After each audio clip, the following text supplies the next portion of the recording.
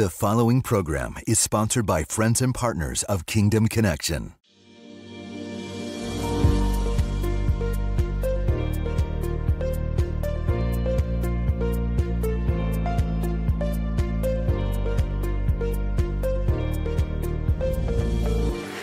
If you have your Bibles, I'd like for you to open them with me, please, to the Old Testament book of Zechariah, chapter 1. Zechariah, chapter 1. Look at this in verse 17. Again, proclaim, saying, Thus says the Lord of hosts, My cities shall again, listen, spread out through prosperity. The Lord will again comfort Zion, or my people. I'll again choose Jerusalem. And when I raised my eyes and looked, there were four horns. He's having a vision now. And I said to the angel who talked with me, What are these? So he answered me, These are the horns that have scattered Judah, Israel, and Jerusalem. Then he showed me four carpenters, and I said, What are these coming to do? So he said, These are the horns that scattered Judah so that no one could lift up his head. Notice that. No one could lift up his head. But the carpenters are coming to terrify them and cast out the horns of the nations that lifted up their horn against the land of Judah to scatter it. He said, I am going to prosper and bless you. As a matter of fact, he told Joshua in Joshua 1 in verse 5 that no man will be able to stand against you all the days of your life. No one will stop you from doing what I've called you to do. He went on to say, and you shall have good success. These are Bible words.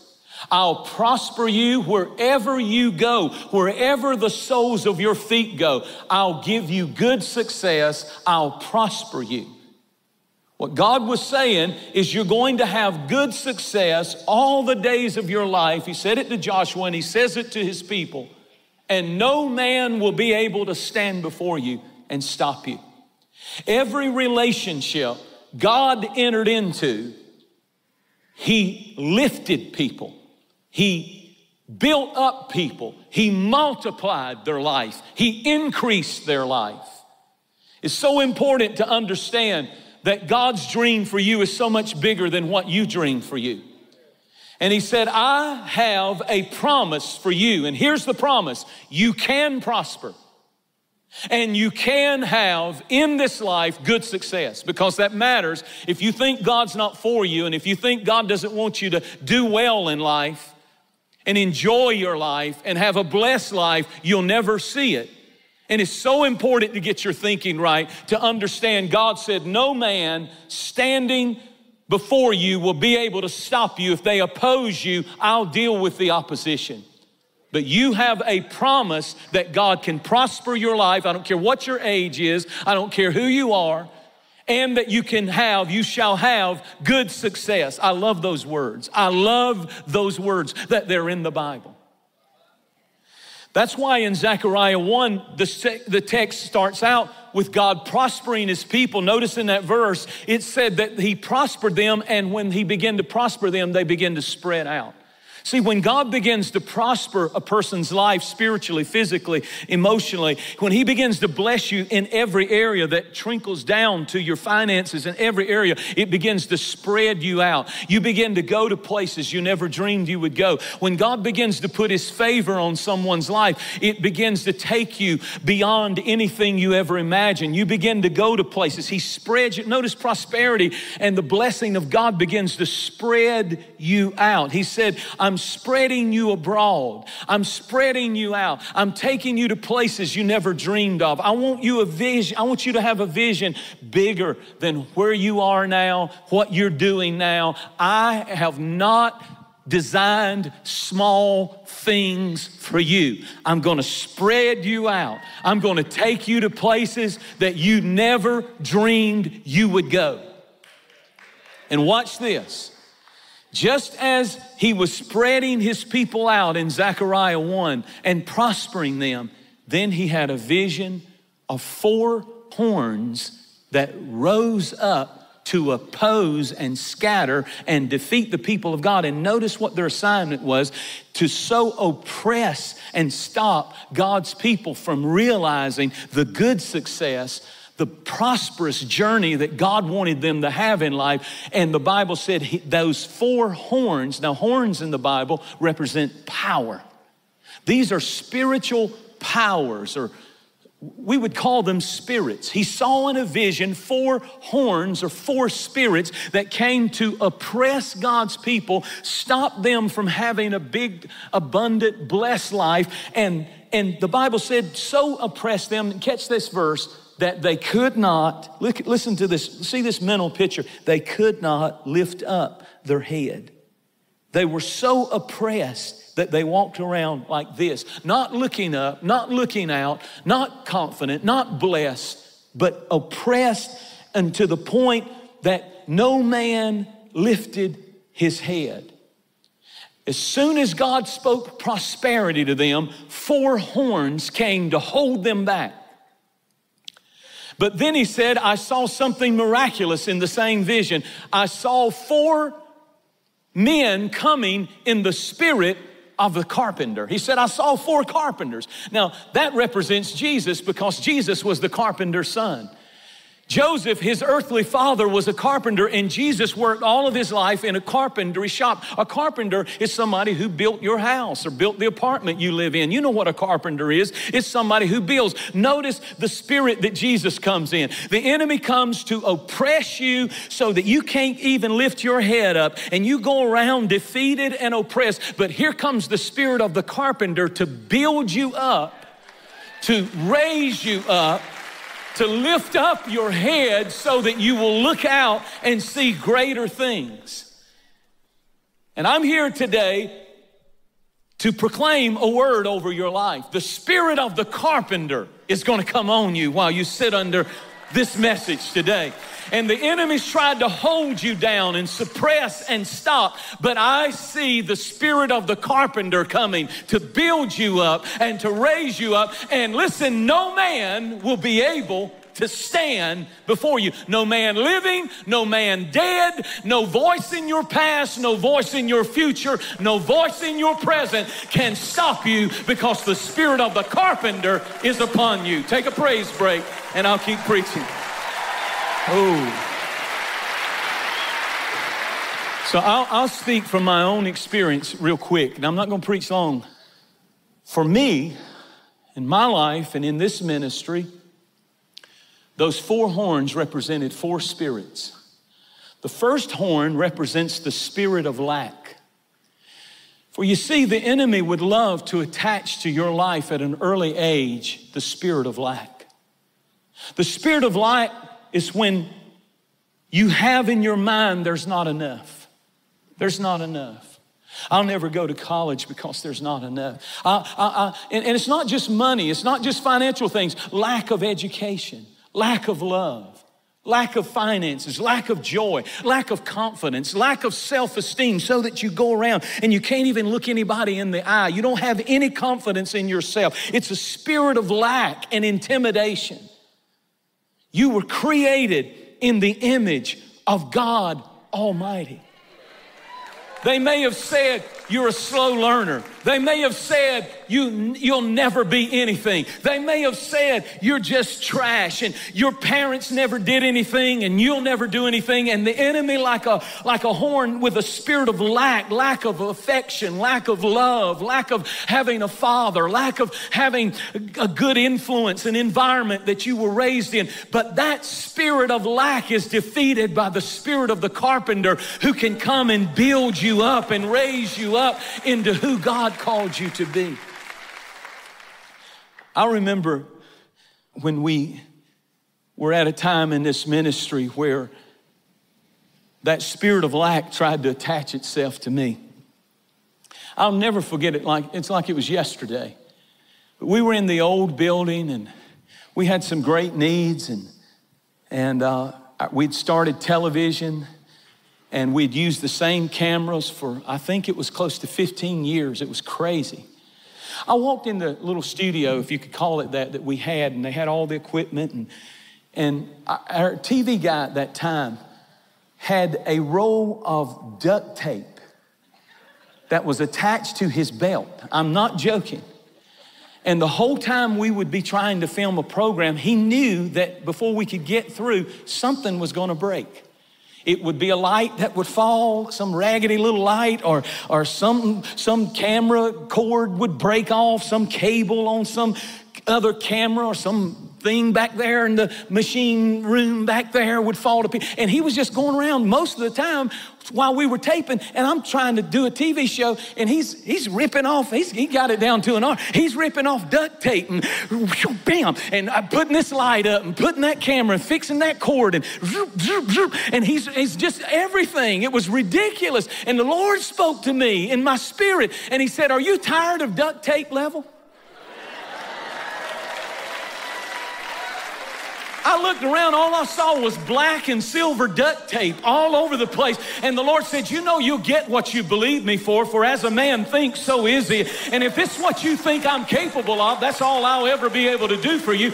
But if you'll believe me, I'll take you from this level, out of duct tape level, into exceedingly abundantly above all that you could ask or even think. You got to get free from the spirit of lack that keeps your head down. I just want to shout a minute in my space because look what the Lord has done. It's a debt free property. We don't owe a penny. Those cameras, everything in here is debt free to the glory of God. I'm preaching not just to old people, I'm preaching to young people, I'm preaching to middle aged people that your God will supply all your needs. He's a big God, and you got to get free from the spirit of lack. The second horn is the horn of limitation. You see, if the enemy can't get you bound with a spirit of lack that is, doesn't exist and this is all I'll ever be and all I'll ever have, then he'll come with a spirit of limitation, which says things exist, but not for me. Oh, he'll do it for Jentezen, or he'll do it for this one, or he'll do it for that one, but not for me. There's a ceiling over my life, a spirit of limitation. There's a barrier. I can go this far, but I can't get to that next level of success, that next level of the dream that God has given me. Large elephants are held in place by ropes and wood stakes that have just been driven into the ground with a hammer. And even though these large elephants are massive and powerful, they are held with a rope tied around their leg that they could just shake and the stake would fly off and the rope would be freed. Why do they stay there bound just because they can feel a little rope around their ankle? The key to it is when they have an elephant that's born into captivity, they will take that elephant, they'll while he's small, and they will put a chain a metal chain, a large chain around his leg, and they will take a cement block that has been put in the ground and buried that is attached to that chain. And they said, What happens, listen to this, this is amazing. What happens is after a period of time, after trying and failing, and trying and only going so far, and trying and oh, I hoped, but it didn't happen. Finally, something clicks mentally in that elephant to where he stops trying because he accepts the fact I'm limited and I'll never go further than where I am right here, right now. This is exactly what the enemy wants you to accept. He stops trying to be free. Every time he feels that rope on his ankle, it reminds him of a thought that I can't be free. After a while, he stops believing he stops believing that he can go further, that he can do more. And I'm telling you, I'm preaching to people right here, right now, at all of our campuses and on television and around the world. I'm telling you, the enemy of our soul, that horn, that second horn, is the horn of limitation. The truth is, The elephant is bigger. The elephant is mightier. The elephant is stronger. You are not the person you were before Jesus came into your life. When Jesus came into your life, he gave you power, and you can do all things through Christ who strengthens you. And don't you allow the enemy to place a chain of limitation on you. Ever so often, you have to push against the limitations that say you're going this far, but no further. Spirit of lack, spirit of limitation. Then there's something in the Bible, Paul the apostle talked about Satan, I tried to go to a certain place and he said these words Satan hindered me. What does that mean? Satan hindered me. He said, I went and Satan hindered me. Satan has hindered me. I want, I want Blake to come up here real quick. And, and what, he, what he was talking about is he, he said, I'm on my way, I'm on my journey. I broke through from lack, I broke through from limitation. I'm not going to be held just because nobody in my family's ever done it, I can do it because God told me I could do it. But then in front of him, there was, he said, Satan hindered me. What does that mean? It's like you're moving, but you're making progress, but it's like it's, it's a fight. It's like, eh, no, eh, let, let in a little bit, but, but, but it's like, it's like I'm making progress. I'm trying to push him in that hole right there. But, but it's jabs and it's aggravations and it's attacks and it's, it's a struggle all the way. And this is how it is with a dream. Come here. This is how it is with a dream. Some of you don't understand. Some of you tried and failed two or three times, and you think, you don't understand why you sit on that nice cushioned seat. You don't have any idea the demons we had to fight. And there were times when I couldn't get there that way and I had to roll that way and I had to go this way and I had to go, and oh no, my head's going down. But here comes the spirit of the carpenter and he'd build me up and I'd push some more. I can go. We can do it, church. And if that's not enough, come here, Tracy. Here it is now. So you got you got hindrance in front of you, and then there's one other spirit. There's something behind me. The Bible calls it a devouring spirit. And so I'm getting, I, I took this ground, and you back up a little bit. I got, and I took this ground, but here comes the devourer. And what does the devour? This one fights me about my future. This one's trying to come behind me and steal what I've already won. So I've got a hindering spirit in front of me and a devouring spirit behind me. And just when the enemy thinks he's going to win, Ezekiel said, or, or Zechariah said, I saw in that same vision, just when the, the head was down and defeated and it looked like it was over, I saw the spirit of the carpenter. Thank you. I saw the spirit of the carpenter come and raise and build up God's people. And I've just come in this house today to encourage somebody. The devouring spirit that's behind you, he said, I will rebuke the devourer for your sake. And for the hindering spirit before you, he said, No man will be able to, to stand before you.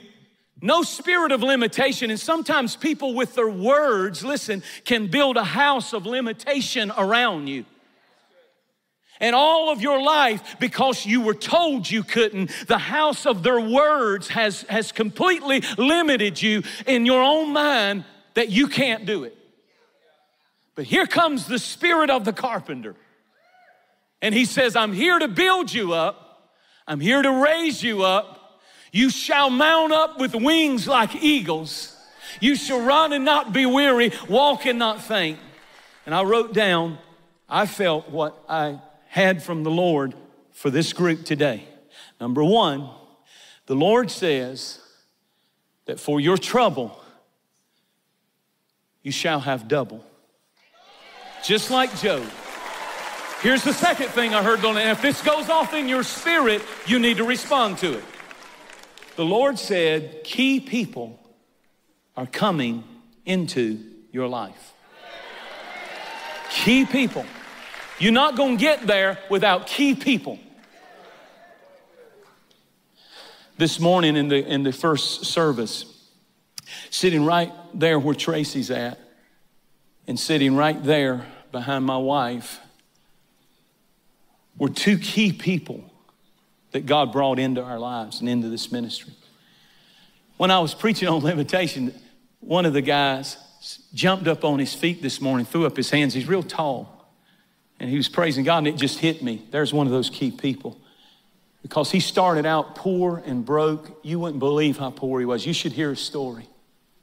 But now he owns, I think it's about eight McDonald's. He owns them, franchises, the whole thing. And then sitting on the front row was a guy named uh, Zach McLeroy. And he started a little chicken firm, little chicken shop down the road in Athens. Just fried chicken and a piece of bread is how he started it. Now it's Zaxby's chicken. Was sitting on, was sitting on the front row. I'm saying to you, you don't believe what I'm preaching. I know what I'm talking about. God is bringing into your dream key people from the north, south, east, and west. I want you to believe the spirit of the carpenter's coming on you, and you're going to do what God told. You're going to build what God told you to build. You're going to raise up what God said you're going to raise up.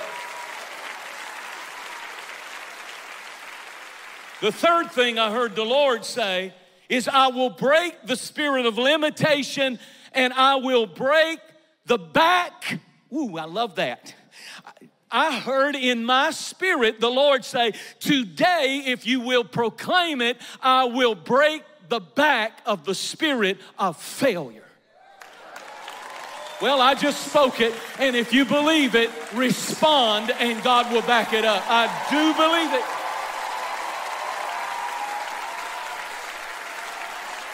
hindering spirits will move. No man will stand before you. Success will come from the north, the south, the east, and the west. Here's a big one, and your head will be lifted up. Just because it's never been done doesn't mean you won't do it. No man will be able to stand before you. So I close with this. My God will make you an asset owner, a land possessor, a wise investor, a kingdom builder. Opportunities are coming to you. A new level of success is coming to you. Key people, key people are coming into your life. I come with the spirit of the carpenter. Some of you came in here, but you're leaving here because I come with the spirit of the carpenter, Jesus Christ. And I build you up in your faith to tell you that God is going to bless you with good success if you'll put Him first in your life. Well, I just want to thank you for watching this program, and I believe God has been speaking to many of you that we need to turn to Him completely and trust Him. Quit making excuses, quit justifying things that we know in our life are not right, and follow His will and His word. Right now, if you've been looking for a change, you're watching the right program. Change is possible right here, right now. Pray this prayer. Say these words Lord Jesus, I need you like I've never needed you before. Please help me. Please cleanse me. Please forgive me. Please, please give me another chance. I know I've fallen, I've failed, but I know you're the God who picks us up and restarts our life. And today I receive that help from the cross, the blood of Jesus Christ. And what He did on that cross is cleansing me. And I today receive power over every temptation in Jesus' name. Amen and amen. Thank you for watching this program. I want to say to all of our friends and partners who stand with us, I know it's been a probably a busy summer that you've been dealing with. But I want to say how vital your support is for this ministry to continue to do what we do all over the world. And you know our mission programs, we don't we don't call off the summer support of those mission summers. We still feed hundreds of thousands in Haiti. I don't talk about it every week. I rarely talk about it, but it goes on.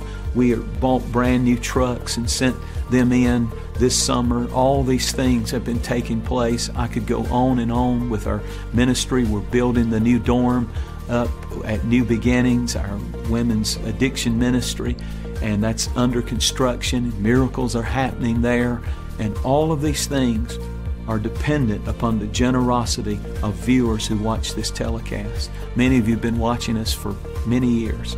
How long has it been since you sent a gift and said, I'm going to stand with you? We need your support. We depend on your support. Maybe you can do something unusually generous to get us through this summer. I know God will bless you, and this is good ground. I know what we do, and I see it every day. You can be a part of that miracle. Pray about that. Thank you for watching this program. Thank you for supporting it, and thank you for praying for us. We'll see you next time on Kingdom Connection. Kingdom Connection is a soul winning ministry that is reaching the world through broadcasting, expansion into new church campuses, and global acts of compassion. By using the technology of today to fulfill the Great Commission, we are able to connect with countless people and reach hundreds of thousands of lives.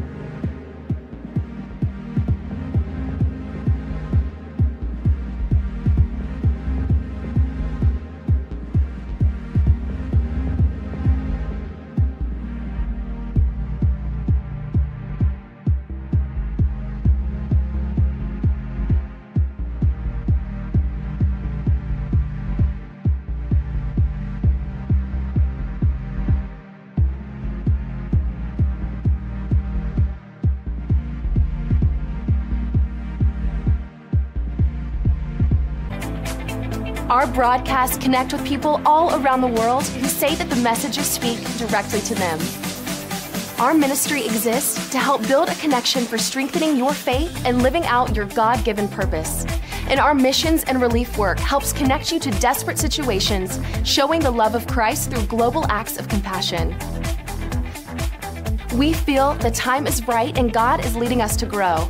And that only happens when you partner with us through Connection Partnership. For as little as a dollar a day, you'll be helping us reach further than we ever have before. For more information on how you can be a part of the ministry and enjoy exclusive partner benefits, go online or call 888 339 0049 for more information. We can't do everything, but together,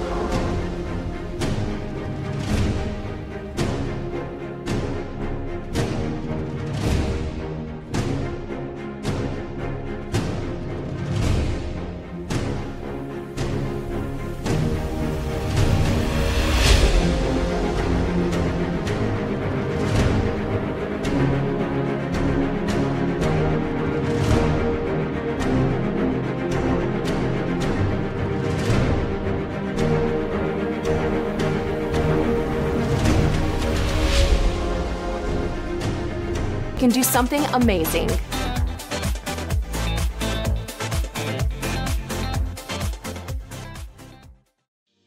We hope you've enjoyed this teaching by Jentezen Franklin and thank you for your continued support of this ministry. Your prayers and financial support make these programs possible. For more information about this message and other ministry resources, feel free to call us toll free at 888 339 0049 or visit us online at jentezenfranklin.org.